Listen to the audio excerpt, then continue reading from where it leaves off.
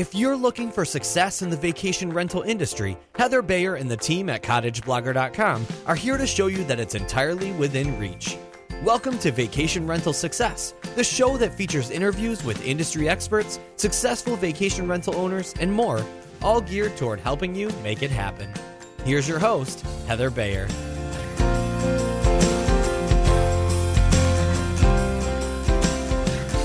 Well, hello, and welcome again to another edition of Vacation Rental Success. And this is number 34. And the summer's really moving on now. I uh, can't believe how quickly it all goes. It's, yeah, a little bit sad, really. We're, we're you know, getting up to the end of July, and then we've got a few weeks of August, and then that's it. Summer's over. And we can start moving on towards another season. And that's always an exciting time for me. And we're already planning our annual road trip, which will take us this year down to the panhandle of Florida and uh, and back again.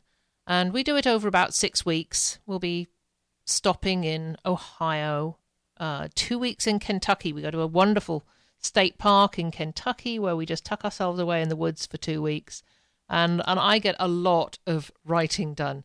And, and I've got a, quite a few things that need finishing and um, several new projects that I'm starting soon that will probably be right in the middle of when we get down to Kentucky. Then we're off to um, place on the Florida Panhandle called Carrabelle, which is in an area they call the Forgotten Coast of Florida, and and it's one of those beautiful stretches of coastline with no high rises, uh, no developments. It's just as it was uh, in the really in the 50s, 60s, 70s, hasn't changed very much since then. And, and that's a bit of ocean time before we come heading back. One of the reasons I mention our road trip is that I choose our RV sites really based on the on the reviews that I see on a site called RV Park Reviews. And it's very important to me because there's certain things we really, really need when we're on vacation, even in an RV, which is pretty much self contained. The, my number one requirement is having internet access.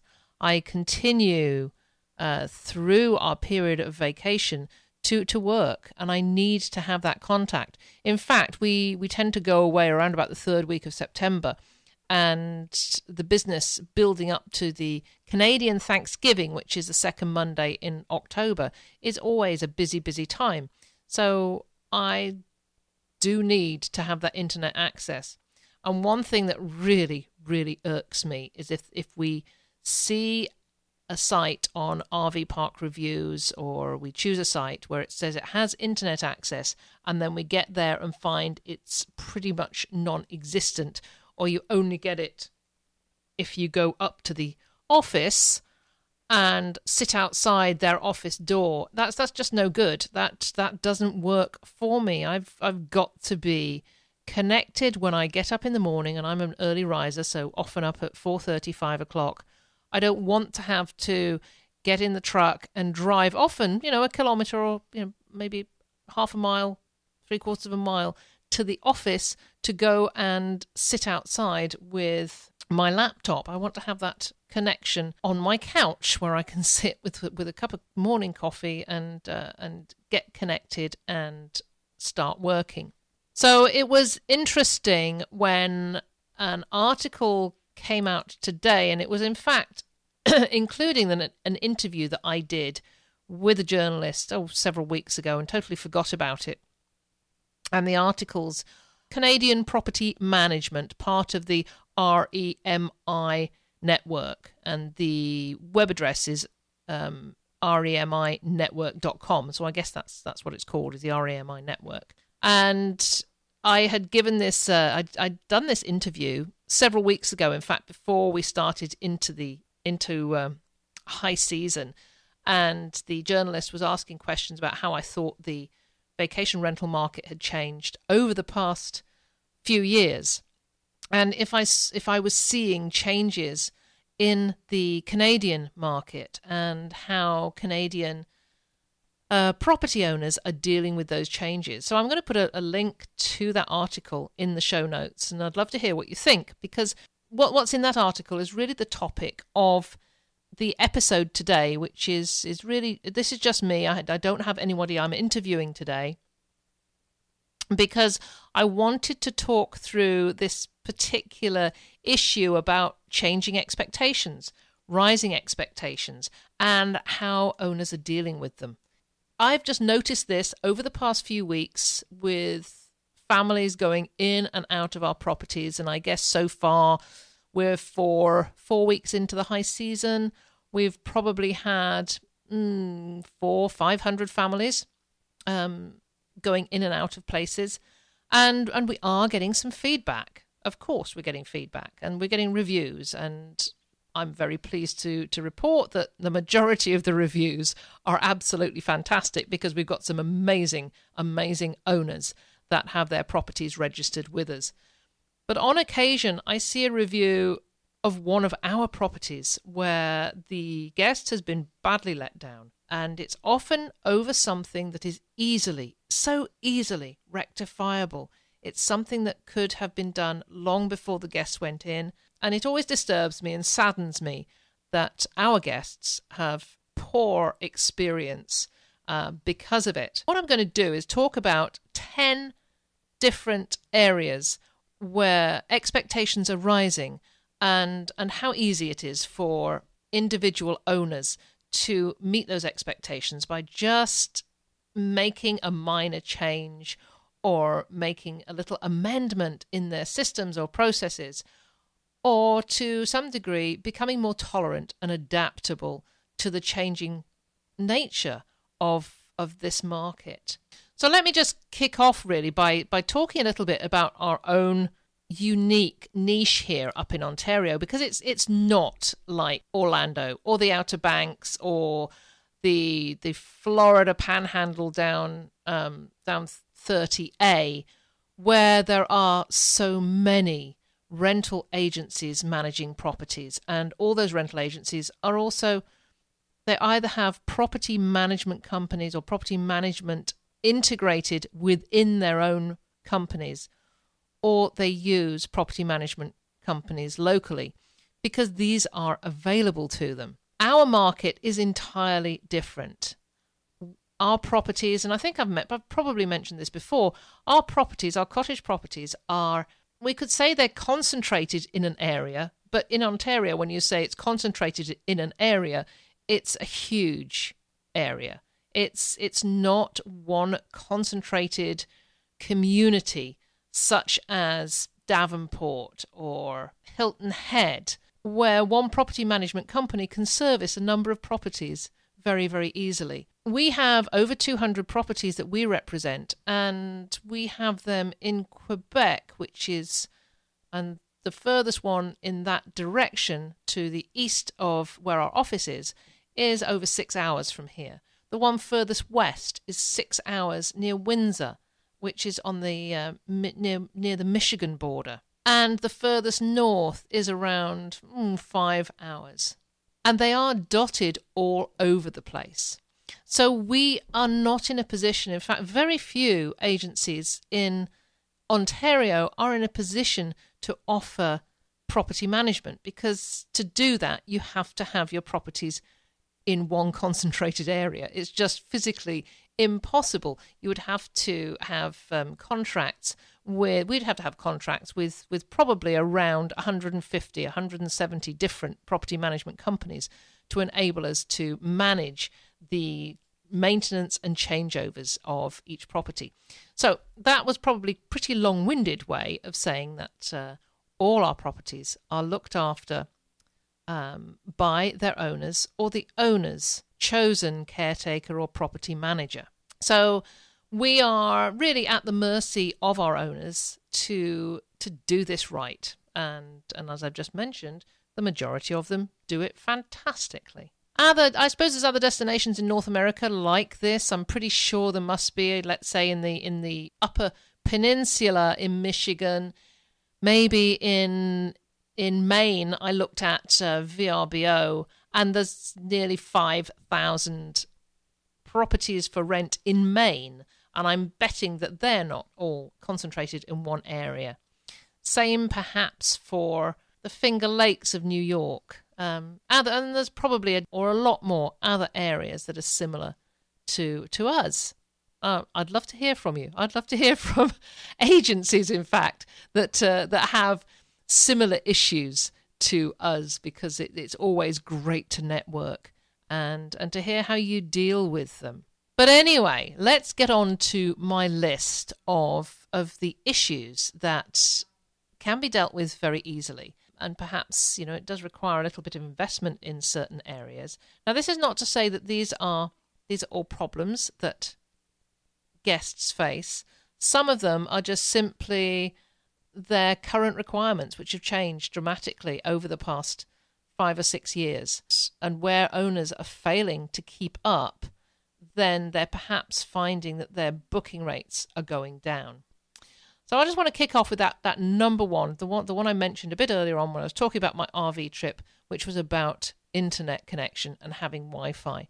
Do you know three or four years ago there were very few of our properties that had Wi Fi. In fact, my own properties didn't have it. We didn't have any cell signal.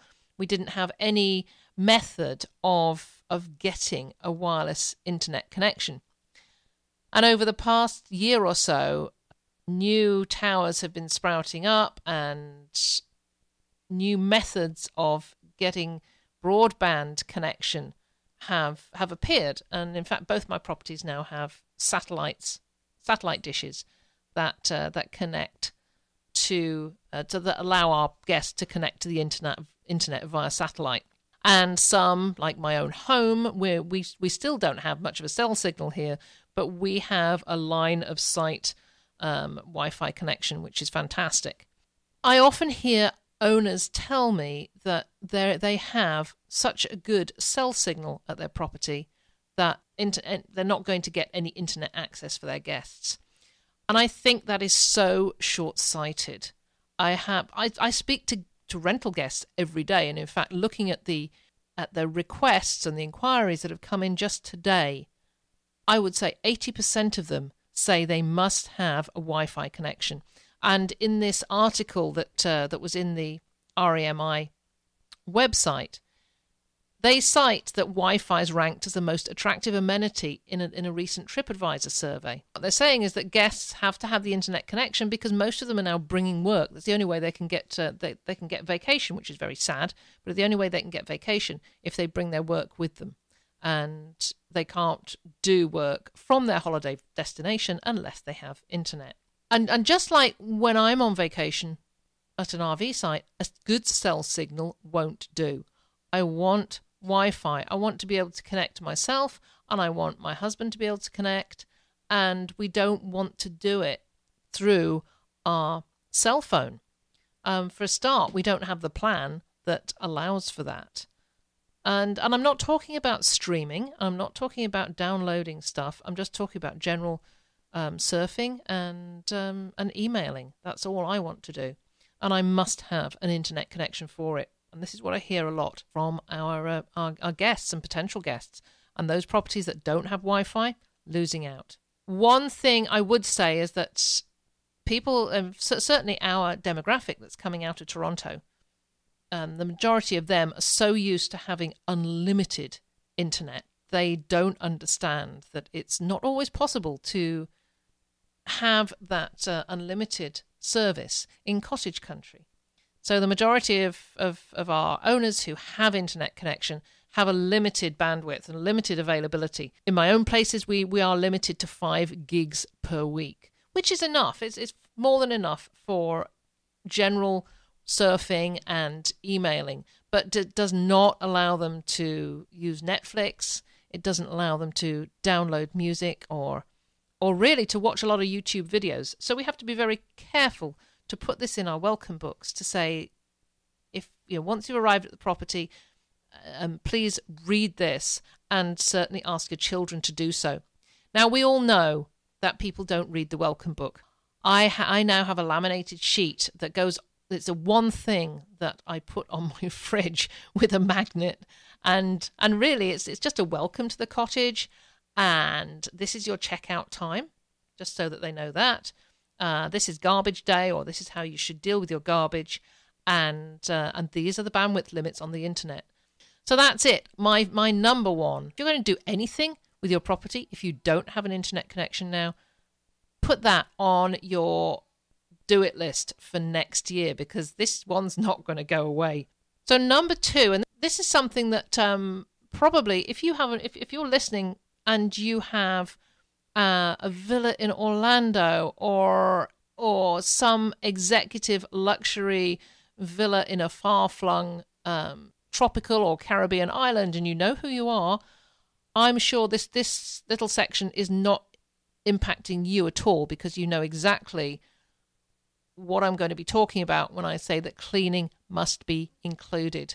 Nowadays, people are coming on vacation. They don't want to spend the last morning of their vacation cleaning their cottage or cleaning their property.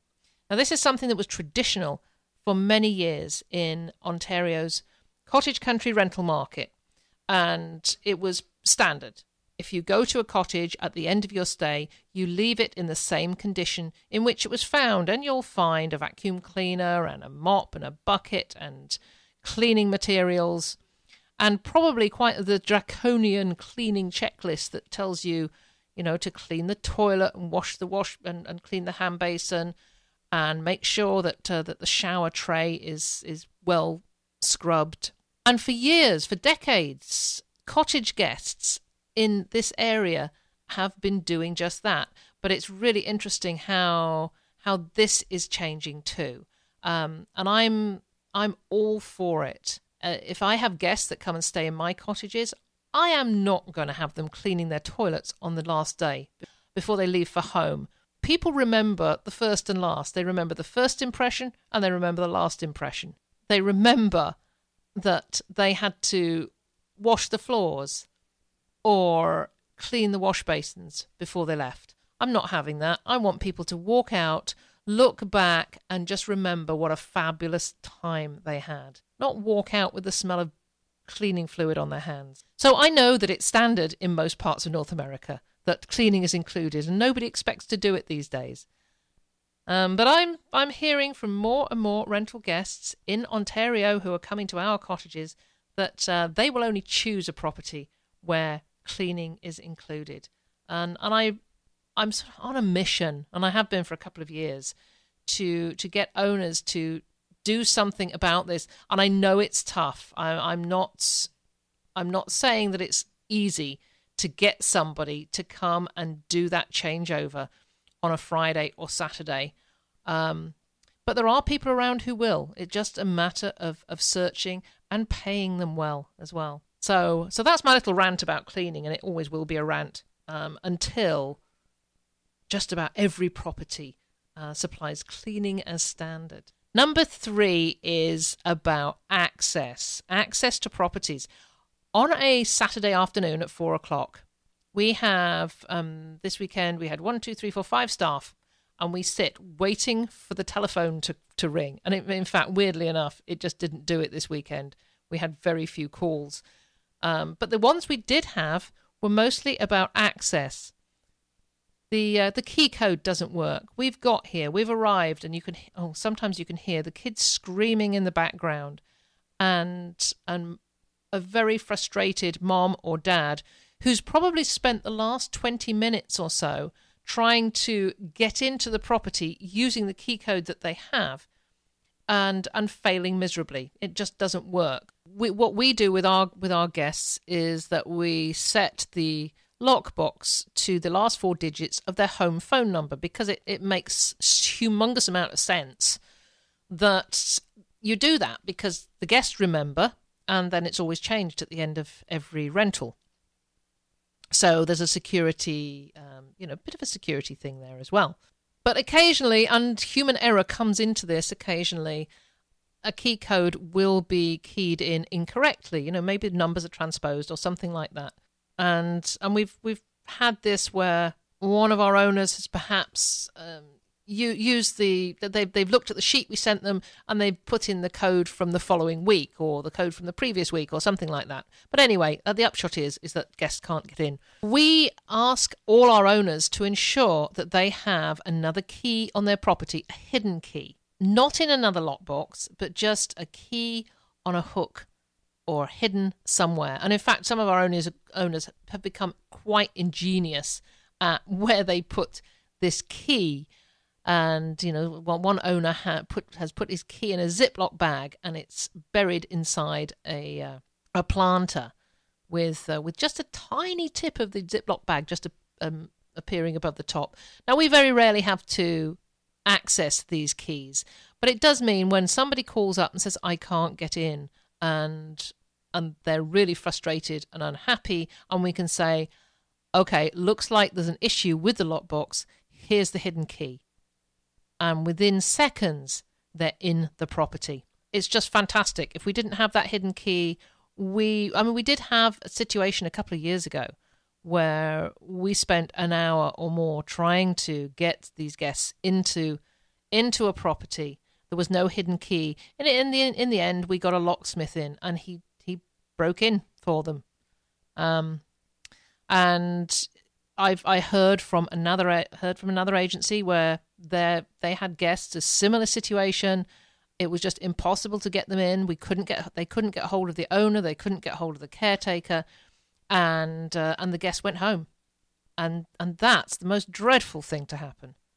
It's just, you know, I I can't imagine how upsetting that would be if you'd got to your vacation destination and the kids are all excited and then you just cannot access the property and you have to turn around and go home.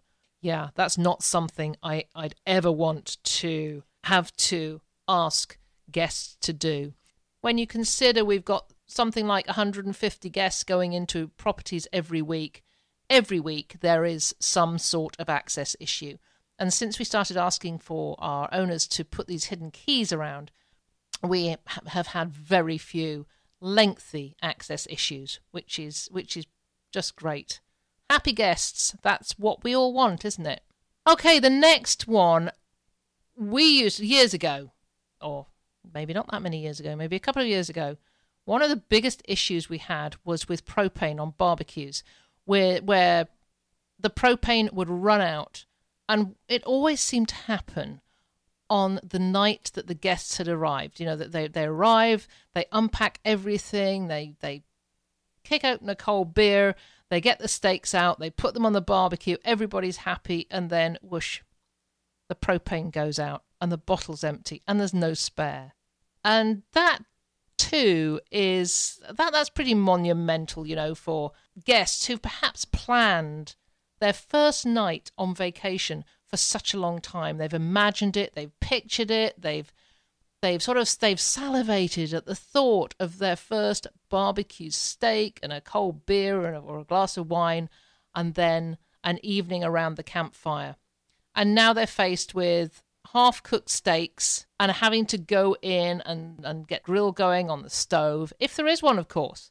So, our procedure now with our owners is to ensure that there is always a bottle of gas on the barbecue. There is a full spare somewhere in a shed in the basement. There is a full spare available. What we do with our place, we have we have three tanks, so that there's always a one on the barbecue, a spare in the shed, and the third one is usually in our caretaker's vehicle because she's taken when she's done a changeover, she's taken one away to get it refilled. And with having three, she doesn't have to take it away to get it refilled and then rush back and drop it off before the guests arrive. You know, for the cost of that third tank, it's amazing how you know what what, a, what an impact it, it has on everybody. In fact, for the you know our caretaker's happy; she doesn't have to run backwards and forwards with it. She just delivers at the end at, at the changeover. So that works really really well. So number five is garbage, and in in our areas there is rarely anywhere that has garbage pickup. There there are some places where there's a pickup, but that creates its own problems. In fact, because with garbage pickup, let's say you've got a garbage pickup on a Tuesday. So what happens when there's a Saturday changeover? and the departing guests have put their garbage in the container and left. So the next guests are going to be inheriting that garbage. And really if it's if it's full, what are they going to do between Saturday night and Tuesday when the garbage collection comes? Let's say it's Thursday. That makes it even worse. The other thing is is that garbage collection is often very early in the morning. And and we in, in we, we can't leave garbage outside because of raccoons. So we have areas where a garbage collection collection might be at six thirty in the morning. So this is asking our guests to get up at six thirty or earlier on vacation to get their garbage outside. So there has to be another arrangement. In general, in our cottage country areas, we do require our guests to dispose of their own garbage and take it to a um, a landfill site or a local dump and and that's probably something that we don't plan on changing. It's just a factor that uh, that we all have to deal with. That we have to get rid of garbage in cottage country, and in general, it has to go to a landfill site. And we cannot leave any garbage outside because of bears and uh, and raccoons. So it's just important that our guests know what they have to do with garbage and that they're fully aware. And if every and of course, every landfill site here has different rules on recycling. Every township is different. Our advice to our owners is to write a very clear uh, garbage and recycling document that uh, that that guests can see. They know beforehand what they have to do. And we often find if people have expectations laid out before beforehand, so that they're very much aware of what the process is, they really don't mind at all we never ask our, and I've seen this in, in many places that uh, that guests are asked to take their own garbage home with them, and and that's to me that's a bit like the cleaning thing. I am not cleaning toilets before I leave the vacation rental, and I'm not going to pile my garbage in the back of the car either. I expect that that, that sort of sentiment is what many of our guests uh, are feeling these days. So please don't make guests take the garbage home. It's not fair. It's not. It doesn't. Uh, you know, the the lingering memory of vacation should not be of the garbage in the back of the car. Now we talked earlier about having somebody on hand to deal with issues. So so when somebody has a problem with access, and and that's really important to have to always have somebody at the end of a phone in your highly populated areas if something goes wrong, a guest can pick up the phone and speak to a property manager straight away, and you, that's pretty much 24 7. But in the more rural areas, that's that's just not going to happen. But it is important that they have that little bit of comfort factor of having somebody on hand that they can speak to. I mean, let's say there's a power outage, and when the power comes back on, the water's not working, and yeah, that that happened to us in our villa in Exuma in February, and the power outage, power came back on, no water, and we were able to contact. We had a, an emergency contact number, and all was resolved. So this is so important that there is somebody, in, and if you're the owner and you're not available, then you should have a second contact number for somebody to call because it, it's tough if you're if you're in a property that you don't know, you're unsure of what to do. It's really important that there is somebody that they that, that you can call and uh, and get the problem dealt with. So moving on to number seven, and that is about this is about advertised amenities. And we had a call the other day from an owner who said, "Oh, by the way, we had a problem with the canoe, and uh, so we ditched it."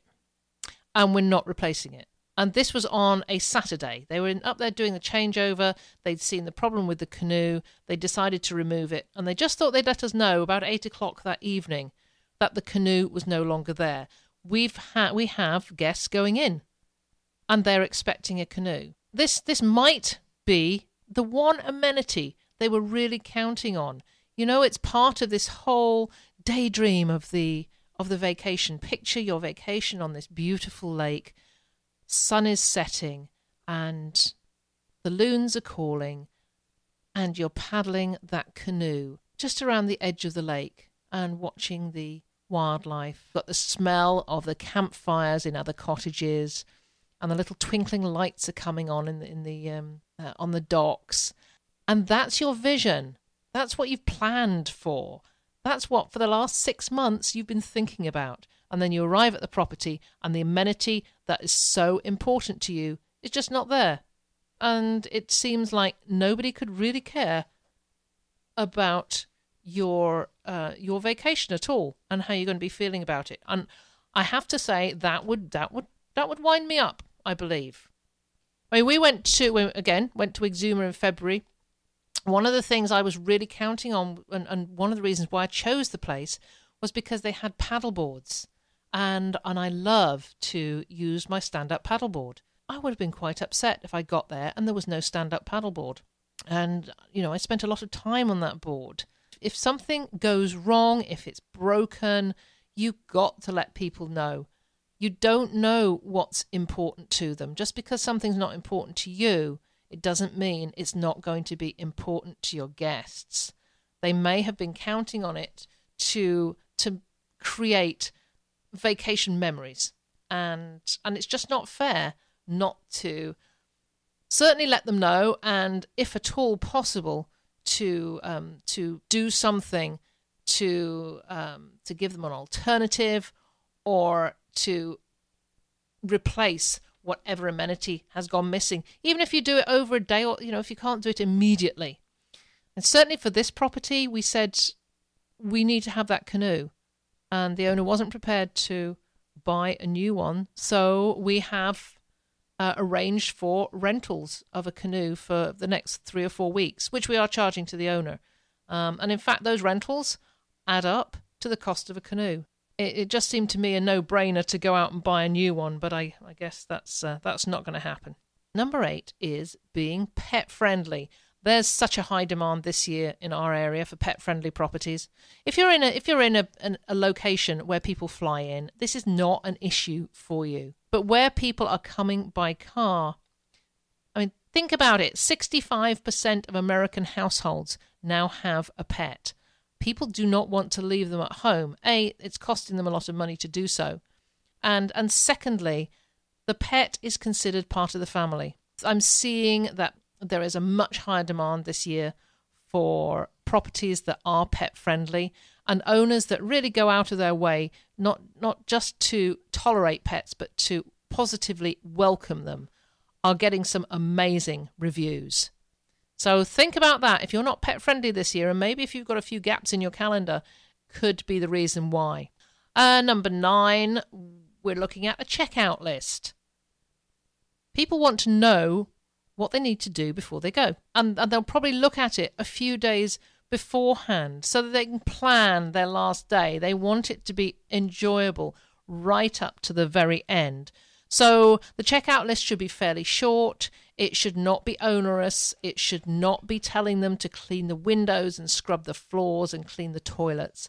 It can simply say, if you wish them to strip the bed linens off, then then do so. Many people now just say, please, you know, the beds that you've used, please just turn those beds down. Turn the linens down so that we know that they've been used. Oh, one thing we do ask is that kitchen surfaces are left cleaned. We don't expect our caretaker to do the dishes. We've got a dishwasher, so we just ask that the dishwasher's loaded and perhaps switched on. We want furniture to be returned to its original location which I think is is fair, and outdoor toys to be put away. Things like life jackets and um, fishing equipment. We just ask for that to be put away. But apart from that, I don't want my guests to be facing this huge checklist before they leave on their last morning. I mean, sometimes they're they're leaving early so they get back to the city, and they've got a very limited time to get themselves and their kids all ready. And guess who's the one that does that. Dad's probably still out with the kids fishing on the dock till 11 o'clock in the morning while mum's packing up. So give her a break and just give her a tiny little checkout list. Finally, number 10 reviews really, really matter.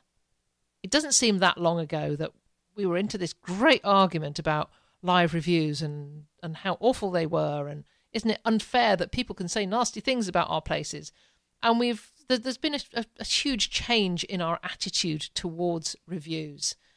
We understand that 99% of them are genuine. They are people that have stayed at our properties. And most of the most of the listing sites do do have a fail safe system to stop people making a review if they haven't stayed at the property. And you know if someone gives you a negative review and and you feel it's unfair, well then you can respond to it. Not in a negative or, or defensive way, but you have that ability to respond mostly to say, I'm sorry, we dropped the ball on this one. It won't happen again. Or maybe something was missing that they liked, that they, they would have liked to have had. And you can simply say, I really appreciate the feedback and letting us know that we didn't provide this particular item that would have been useful to you on your vacation. Please rest assured that if you come back again, and we'd love you to, then that will be there for you next time. It's interesting that uh, that statistics do say that properties that have one or two negative reviews will often have more views and more conversions than those that just have reams and reams of five star reviews. Those are the 10 issues that seem to be front of mind with people this year. And certainly from uh, the, the connections I have with guests and the reviews that I'm seeing, it's one of these 10 that, uh, that will come to the forefront in one way or another, any form of um, negative feedback. So I hope that's been helpful. And as we come to an end of yet another episode, I just want to uh, to thank you once again for for listening. Um, of course, as ever, if you'd like to leave a review, please drop down to the bottom of the page on the show notes and click on the uh, on the iTunes link that Mike has set up, and you can leave your review there. I'd like to make a shout out to a couple of very special people this week, and they are Donna Martinez from SeaRanchAbalone and and Becky McIntyre from a Bisbee Vacation Rental.com. Both Becky and Donna have written fantastic reviews of my book uh, on hypnotic writing for vacation rentals. I absolutely love your reviews. Thank you so much for taking the time to write those testimonials. I love what uh, what Becky said in hers. She said she rewrote her original text on a Facebook page, and it, her original text said went something like, "Have you ever been to Bisbee in the fall? We have openings." And she said, "Blah blah blah blah. Here is a coupon," and she changed it to Picture yourself sitting in the Toland Adobe's tree shaded private fence courtyard, just a short four minute walk from historic Main Street. We have a few weekends open in October and November, and we'd love to hear from you. And she said just that simple change got her six times as many likes as usual and two additional shares. And she said that was a super quick fix. I absolutely, oh, just, I was blown away with that. Thank you so much. You should go to Donna's page at SeaRanchAbaloneBay.com and just read what she's written on her amenities page. Um, she says, sinking your head into the pillows, you snuggle deep in your bed's luxurious linens and blankets. You reach over to find a carafe of fresh water awaiting. awaiting. You awaken from your deep slumber, refreshed for the new day. You wrap yourself in Abalone Bay's spa bath robe. Is that the aroma of morning coffee wafting into your room, or bacon sizzling in the kitchen, beckoning you? I read that and I actually had goosebumps because I immediately I was there. I was there waking up and I was snuggling and and the smell of coffee. It was just fantastic. Um, Donna, you've done an amazing job. I can't wait to see what else you and Becky are going to do. So for anybody who wants to check out my book on hypnotic writing, please do so. I'll put a link on the show notes. and let me know. i w- I'd love to see your before and afters. You know, before you change the text, and then after, after you've used this wonderful selection of writing techniques that I give you in the book. And uh, and I am going to be publishing some of these because they're amazing, and and I'm so proud of you. Okay, so time is up now. I'm heading off. I think for a uh, little boat ride, maybe a swim. Um, we have two such short, hot months here in July and August in Ontario that we make the absolute most of them. So, once again, thank you so much for listening. I will be back again with you very, very soon. This episode of Vacation Rental Success is over, but don't worry, Heather will be back soon. Want more great resources? Visit cottageblogger.com for tips, tricks, downloads, and strategies to help you achieve profit from your vacation rental business.